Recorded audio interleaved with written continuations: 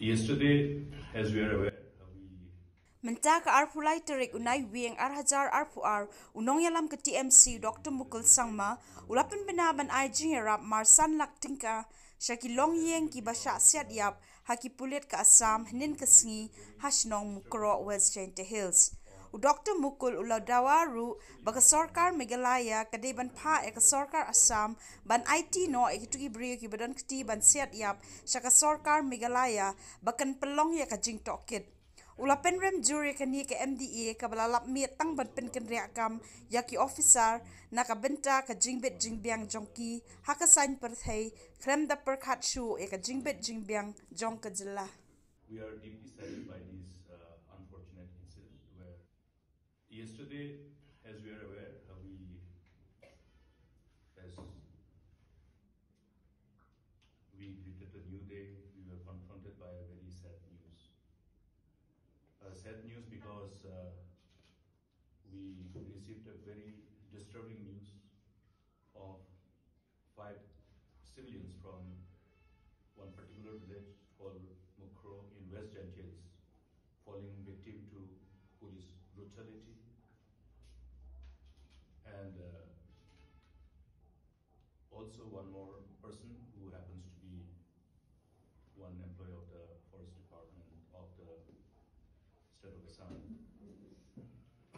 We are deeply saddened by this uh, unfortunate incident where precious innocent life, lives have been lost and we place on record our deepest condolences to the members of the affected families and also to the people who are affected by this unfortunate incident. We are all disturbed, we are all grieved. And um, as a political party, we also share this deep anguish over the incident.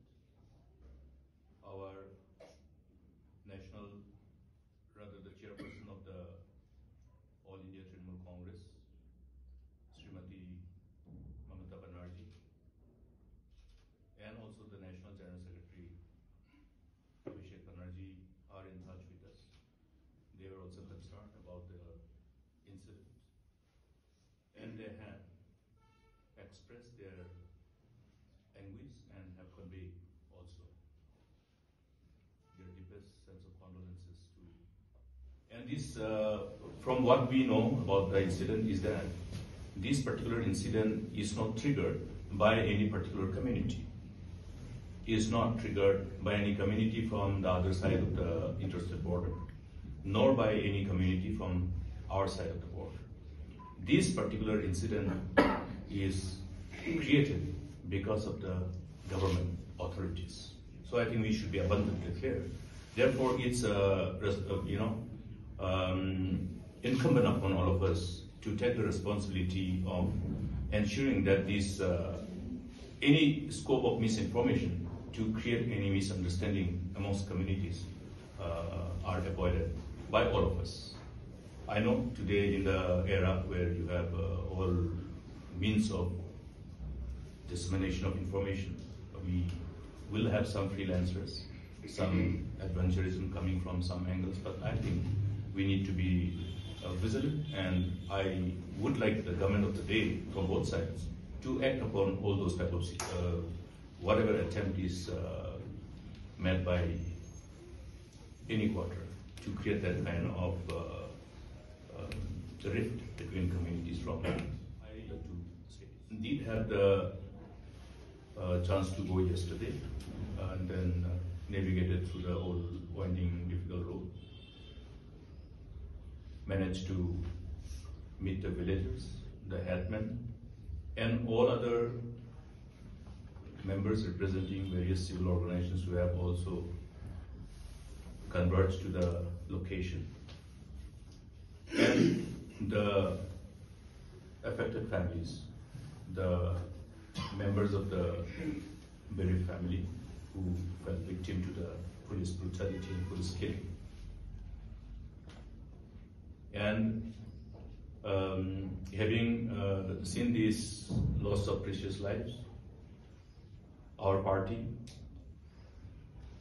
Trinamool Congress, has decided also to extend an ex gratia support to the families who are affected by this police brutality. And we will be releasing an ex gratia payment of rupees 5 lakhs for the families of the deceased. And also support for those who. I think it would be only um, in the fitness of things if friends from media can really go down there and then listen to their stories so that you will know what exactly was happening from the horse's mouth. And uh, the narrative revolves around that uh, the villagers have been subjected to constant harassment and atrocities, and thereby they were subjected to live in fear with complete sense of insecurity. And their attempt to draw the attention of the authorities from our side had usually fallen